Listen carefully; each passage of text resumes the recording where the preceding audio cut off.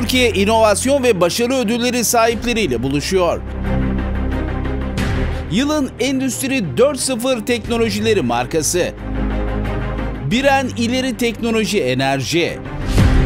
Nesnelerin internetinin sanayide uygulanabilir tarafına yani endüstriyel IoT'ye odaklanan Biren İleri Teknoloji Enerji özellikle üretiminde buhar teknolojisi kullanan firmalar için kaynaklarını verimli bir şekilde kullanmasını sağlayan yapay zeka tabanlı yazılımıyla enerji, bakım ve zaman tasarrufuna yönlendiren sistemler tasarlayarak onların dijitalleşmelerine katkı sağlıyor.